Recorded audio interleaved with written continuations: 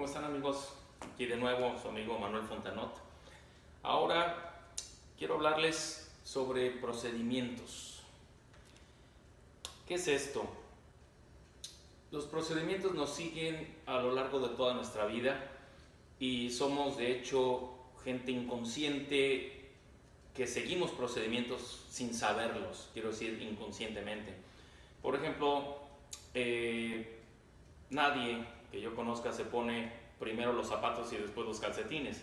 Es algo que va uno aprendiendo, ¿verdad? Con los años desde que es chiquito. O si te subes a tu vehículo, pues no le vas a meter eh, drive antes de arrancarlo y cosas así. Entonces, si somos gente de procedimientos, ¿por qué portamos un arma sin tener idea de cómo funciona realmente?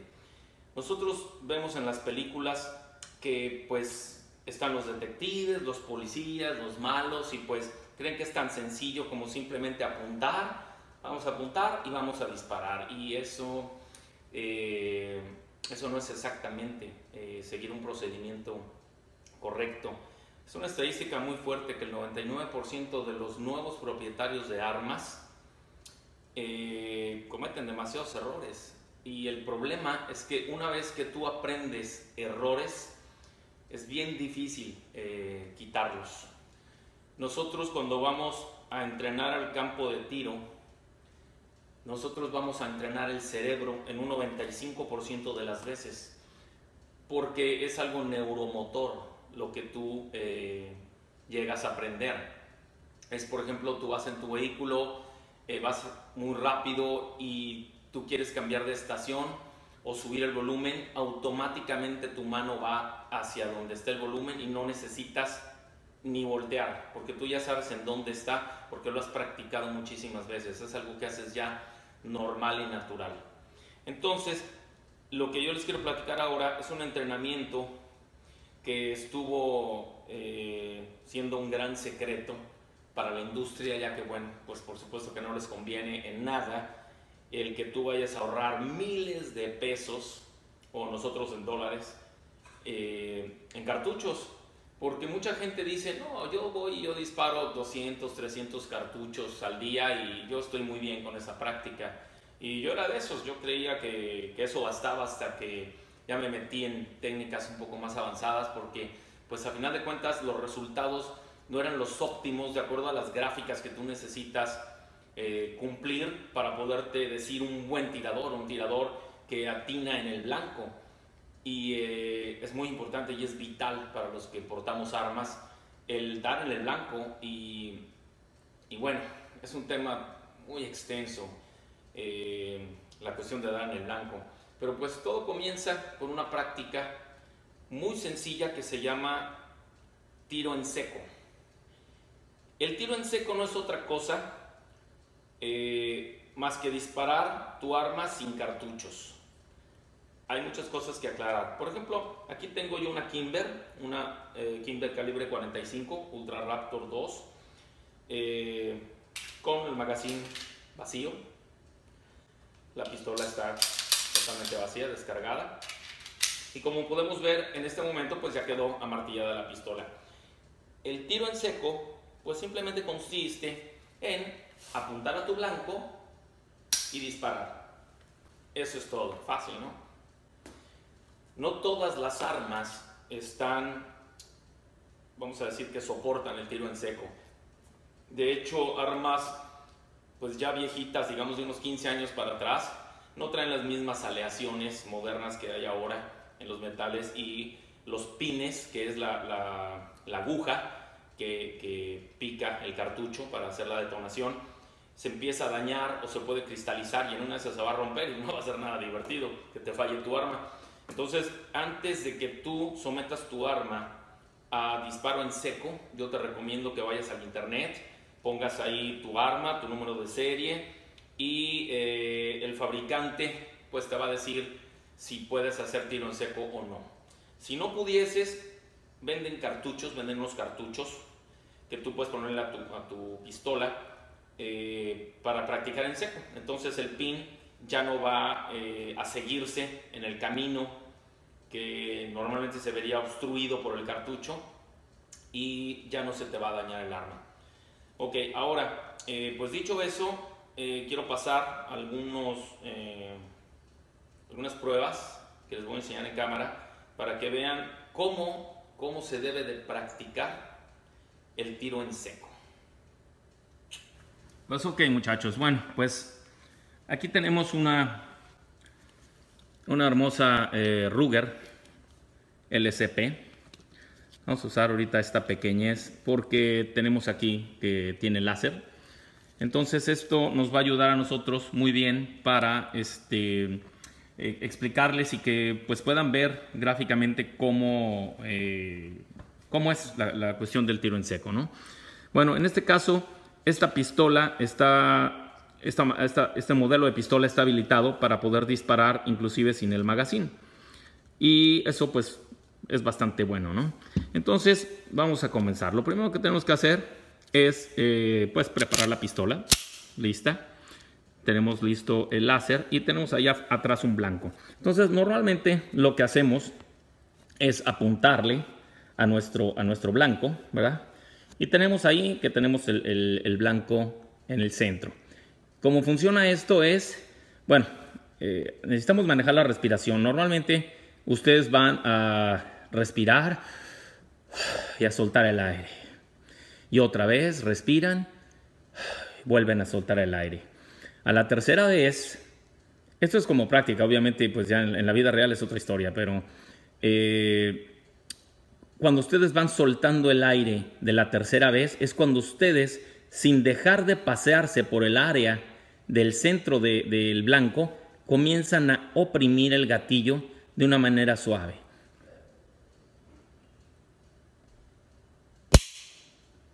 hasta que sucede el disparo. Podemos ver aquí, nosotros tenemos ahorita una distancia de eh, pues más o menos como 7 metros. Entonces, en 7 metros vamos a ver que tuvimos una variación probablemente de una pulgada en el movimiento. Especialmente porque esta arma no puedes este, cortar el gatillo tan fácil como otras que tengo por aquí que ahorita se los voy a demostrar porque es, un arma de, que corta muy, muy lejos. Es un arma para damas, normalmente. Y bueno, pues la fábrica, igual que este que tengo por ahí también, la, la Bodyguard de Smith Wesson, ellos dicen que están diseñadas así con el gatillo largo. Fíjense cuánto tarda en cortar, ¿eh? Para que las damas que están nerviosas no vayan a disparar este, antes sin querer, ¿no? Yo no creo eso. Las mujeres son sensacionales para la cuestión de la disparada. Que mi esposa y mis hijas son increíbles. Mi hija desde los 14 años dispara calibre 45 y de aquí al doble de distancia te pega en el blanco.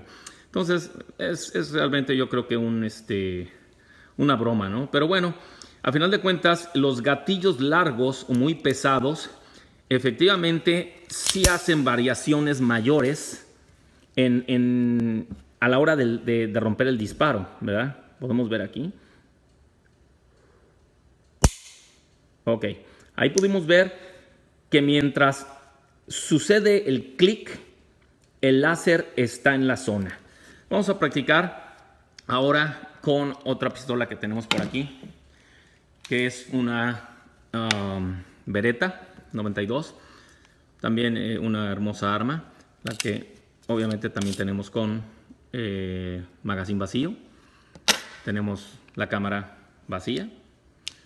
Todo está perfectamente en orden. Y bueno, pues el disparo en seco con esta arma es la misma historia. Ah, trae láser, qué bueno. Déjame pegar el láser. Ahí está el láser. Esta arma es mucho más suave, es mucho más precisa y podemos hacer una, eh, un tiro mucho mejor. ¿Vieron eso? Casi no se mueve absolutamente nada. Vamos a intentar otro. Déjame desde más arriba para ver si ustedes pueden ver. Ahí.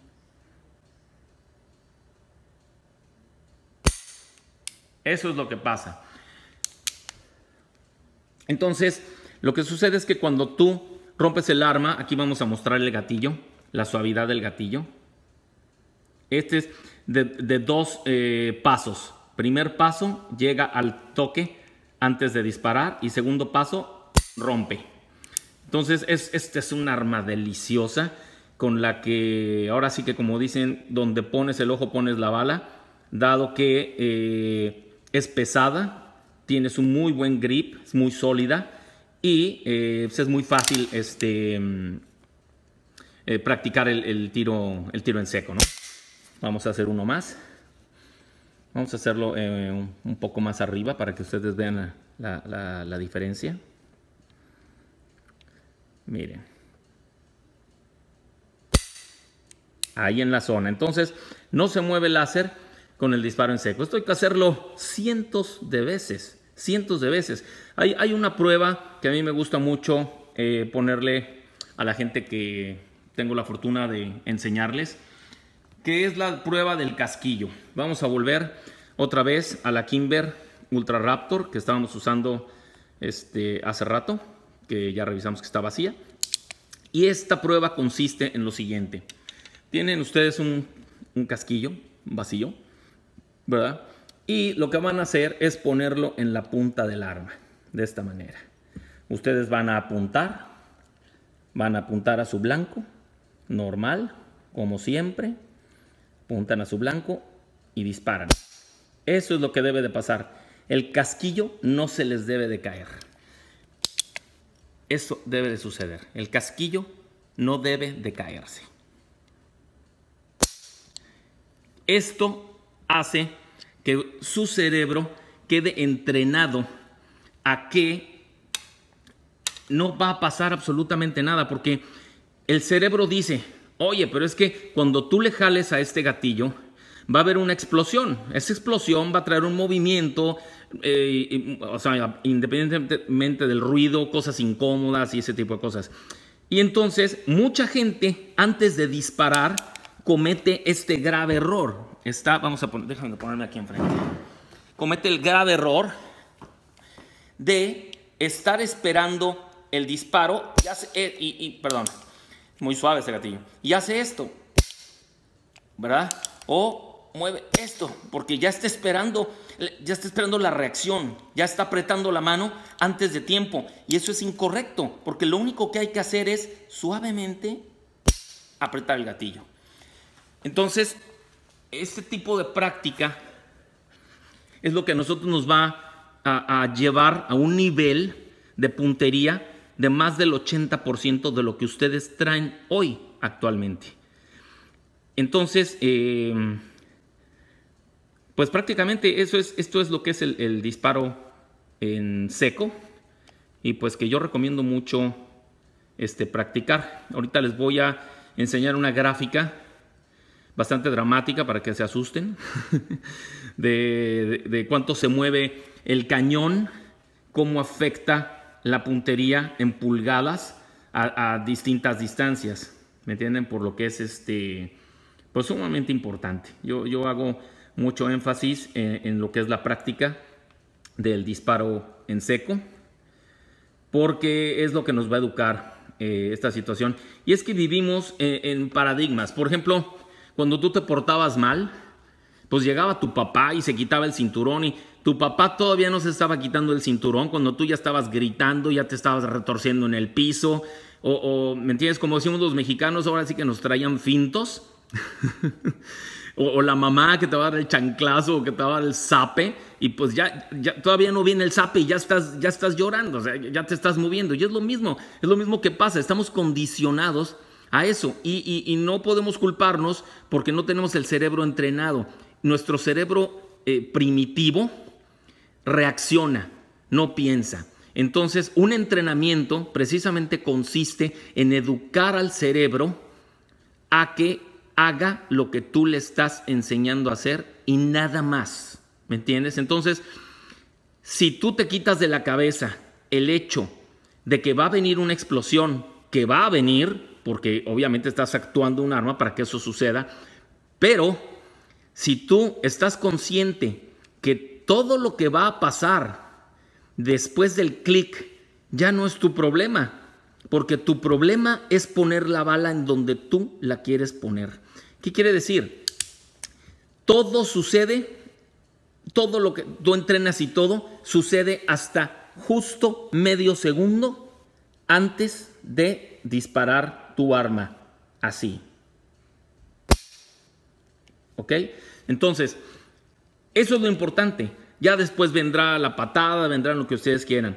Pero si ustedes tienen el entrenamiento de disparar de esa manera, yo les aseguro unos grupos de disparos sorprendentes. ¿Y qué creen? Van a ahorrar un chorro de dinero en, eh, en municiones que no necesitan quemar. De hecho, la práctica se debe de hacer al 3 a 1. O sea que por cada 300 tiros en seco, ustedes van a tirar 100 reales. Y es importante porque también hay que educar al cerebro después del clic. Bueno, pues qué va a pasar con la patada, ¿verdad? ¿Cómo voy a manejar el, este, el recoil, bueno, la, patada prácticamente? ¿Cómo eh, voy a hacer mi grip? Y bueno, todo ese tipo de cosas, ¿no? Entonces, eh, es muy divertido porque pues todo lo que nos trae eh, beneficios nos divierte más que lo que pues no nos trae nada, ¿no? Es muy común escuchar a la gente, no, a mí no me gusta hacer eso, no, yo no voy allá, y simplemente es porque nunca lo han hecho y no quieren decir, no, mira, la verdad, este, no sé, ¿verdad? Nunca nos gusta decir no sé.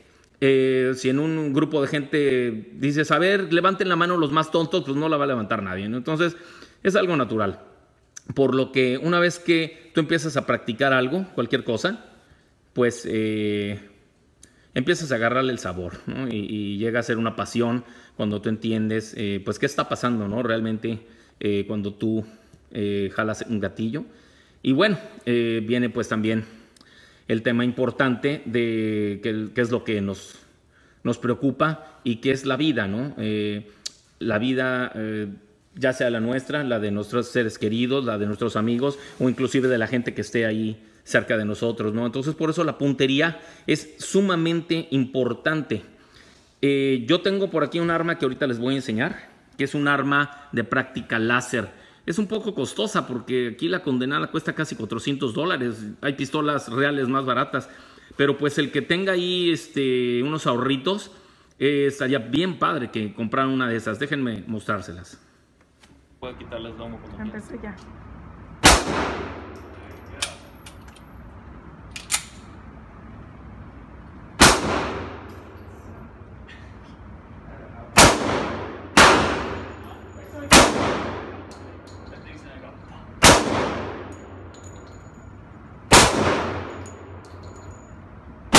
Esta es un arma de entrenamiento que se llama CIRT.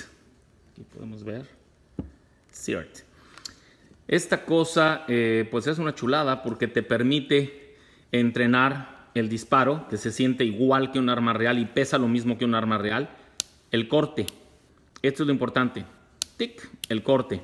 Tiene eh, también un magazine simulado con el peso real de un, de magazine para que ustedes puedan hacer entrenamiento de, mm, recargas, ¿verdad? Y lo más interesante es que trae una punta láser en donde cada vez que ustedes disparan sale un láser. Entonces es muy fácil y muy óptico ver si realmente ustedes se están pegando en el blanco que están practicando. Por ejemplo, aquí vamos a, a disparar al blanco, ¿verdad? Aquí al blanco, a la chapa, a la otra chapa, arriba, abajo, la cruz, el, cuadro de aquí, acá, todo esto, las chapas, ¿me, tiene? Todos estos este, blancos pequeños que están aquí. Y entonces, ¿qué va, qué va a pasar? Ustedes van a, mejorar su puntería pues de una manera exponencial, ¿no? Pero bueno, si no pueden comprar una CIRT de estas, saben que yo creo, esto como es prácticamente es un juguete, digámoslo de alguna manera técnica, yo creo que ustedes pueden conseguirlo en eBay y que se los entreguen allá en México. Hace rato estaba platicando también eh, con un compañero por ahí que estaba buscando un magazine y habría que conocer las regulaciones de, mm, de, armas allá en México, sobre todo, porque aquí no, pues aquí puedes pedir un tanque de guerra por correo y te llega, ¿no? Pero eh, si pueden ustedes comprar magazines, eso sería padrísimo, este porque se ahorrarían mucho dinero. Estoy viendo que esta cosa tiene un switch aquí para cambiar el láser. Déjenme ver qué hace, pero ya no me acuerdo. ¿Qué hace esto? Ah, ya me acordé. Se, queda un láser prendido todo el tiempo. Algo así. Ah, ya vi. Ah, ya vi. Eh, tiene, tiene un doble modo donde apuntas con un láser, luego disparas, ¡pum! Y ahí está el láser. Entonces, este es para práctica, ¡pum! Con doble láser. Apuntas y disparas y ¡pum! Pero a mí el que me gusta es eh, en donde nada más eh, pones el láser y cada vez que disparas sale el láser, ¿no? Entonces, así, exacto. Así me gusta más. Entonces, bueno amigos, pues esta es la idea. Ya se extendió un poquito el video, pero es que creo que son cosas muy importantes que necesitamos saber para que eh, pues, pues, podamos estar más seguros, más seguros cada vez con esto de portar un arma que es algo pues muy serio, es algo muy delicado. Y pues tenemos que saber hacerlo, si no a un nivel táctico avanzado, lo cual sería pues increíble si, si todo el mundo pudieran hacerlo, porque es muy divertido y, pues como les digo trae muchas satisfacciones, pero eh, el conocer el arma, el, el saber cómo se maneja al grado que ya le lleguen ustedes a perder el miedo, eh, pues sería realmente sensacional el que ustedes aprendan a portar un arma con un cartucho en la recámara y lista para disparar. Eso, eso es lo ideal porque lo hemos repetido muchas veces, las cosas suceden en segundos y tú necesitas tener en tres segundos tu arma lista para poder eh, defenderte, ¿no? Y, y, bueno, este, hay, hay muchos temas que vamos a ir tratando poco a poco para no extendernos más en esto. Y yo les mando un saludo y no les he podido desear feliz año nuevo 2017 que esté lleno de prosperidad, de bendiciones, de mucho entrenamiento y de, pues de cosas buenas. Todo lo mejor para sus familias. Muchas gracias. Ya casi se me olvidaba que les prometí enseñarles una gráfica. Por ejemplo, aquí podemos ver cuáles son eh, el movimiento que tiene el, el, cañón del arma. Por ejemplo, vamos a, tomar esta, esta vereta. Cuando nos referimos al movimiento del cañón del arma, es cuando estás apuntando, es el movimiento que tiene de arriba abajo o de lado a lado, o en el momento en que disparas y, acostumbra a la gente este, a mover el arma hacia abajo esperando el golpe, ¿no? ¡Pum! Así, ¡pum! Entonces, este tipo de pequeños movimientos tiene sus repercusiones en la larga distancia. Ahora ya.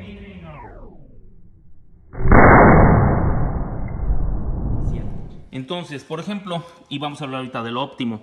Estamos hablando que una distancia de 12 yardas, que son 11 metros, si tú mueves el cañón un 48 de pulgada, o sea, entiendo que, que, saben de qué estoy hablando, pero para la gente que no agarra la onda, una pulgada, ¿verdad? Si tú la divides en 48, en 48 segmentos, Aquí tiene 16. Imagínate un pequeñísimo movimiento.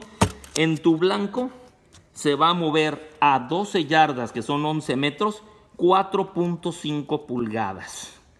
Si lo mueves un 16 o sea, una de esas rayitas que tenemos aquí, este pequeñito movimiento que tú hagas, el, el movimiento va a repercutir a una distancia de 12 yardas 14 pulgadas. Eso es, bueno, 14 pulgadas es un chorro. Es todo esto. ¿Me O sea, es una cosa bastante, bastante grande, ¿no?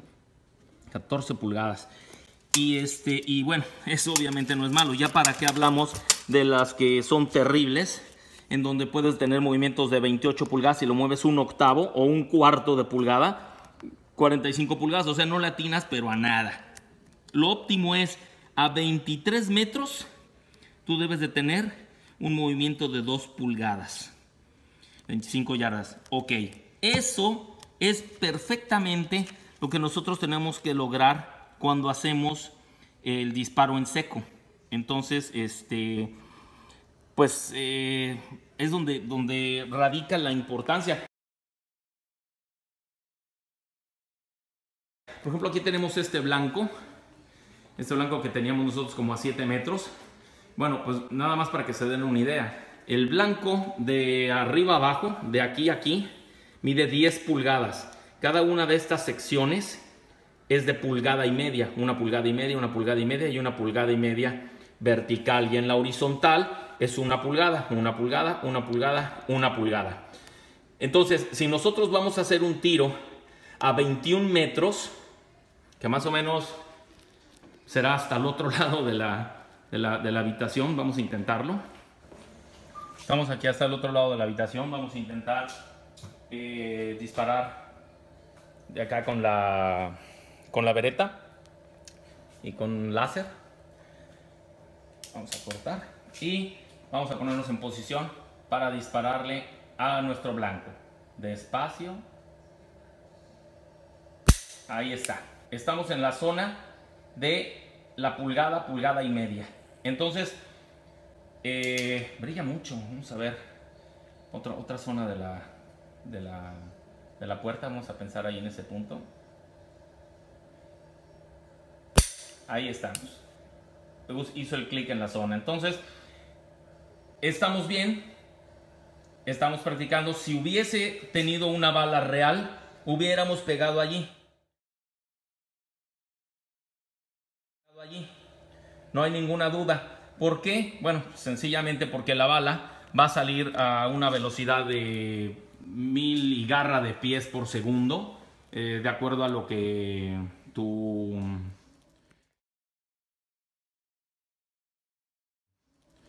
De acuerdo a la, potencia del cartucho que tú le pongas, ¿no?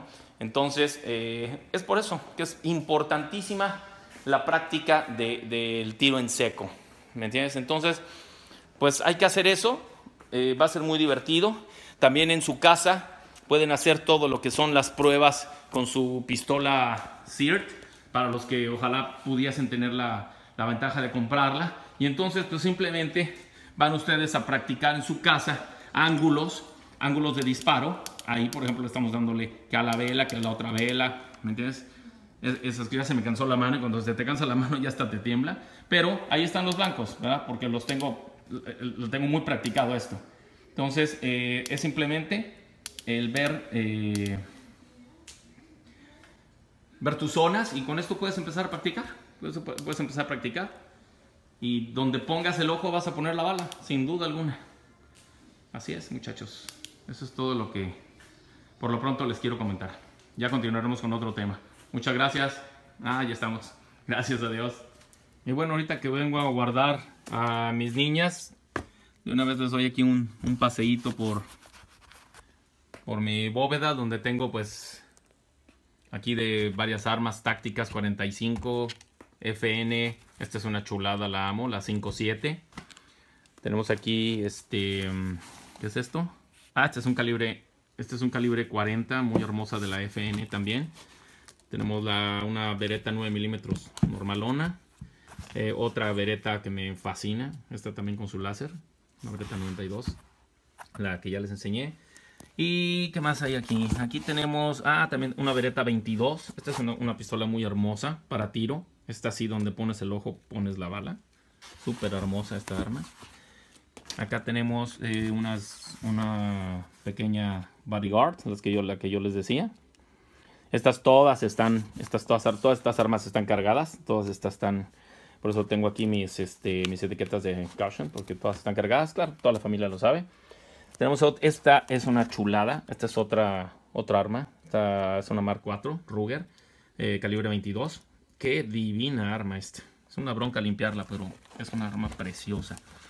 Tengo más aquí, más guardadas. Esta, no me acuerdo qué es. Esta es otra calibre 40, Springfield, hermosa arma.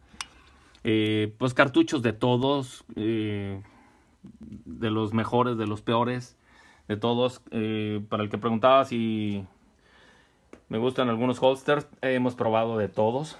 También tenemos armas tácticas. Tengo aquí una preciosa M6 que es como un R15 con mira a COG. Y bueno, todo el equipo. Este padrísima arma. Tengo también un rifle aquí 22, un 10-22 Ruger también precioso con mira telescópica. Ah, ahorita están arreglando mi, mi, rifle sniper. Tengo pistolas medianas, chiquitas, eh, cargadores de, de, todo. Por acá están las... Estos son los cargadores, estas son las balas de mi, de mi sniper, que es un 308. Esta ya es una bala pues, muy divertida, muchos la conocen. Es un TAC 30. Y este, y bueno, claro que tengo armas regadas por toda la casa, escondidas por todos lados. No es paranoia, es, es una pasión, es un gusto. Pero bueno, pues así las cosas. Estuchas y todo y miras y bueno, bueno, esto es, esto es mi pasión. Aquí estoy otra vez. Y bueno, es importante decirles que les muestro pues mis armas, mis cosas, mis equipos, eh, pues no con el afán de presumir, sino más que nada para que pues vean que más o menos sabemos de lo que, de lo que estamos hablando aquí. Muchas gracias.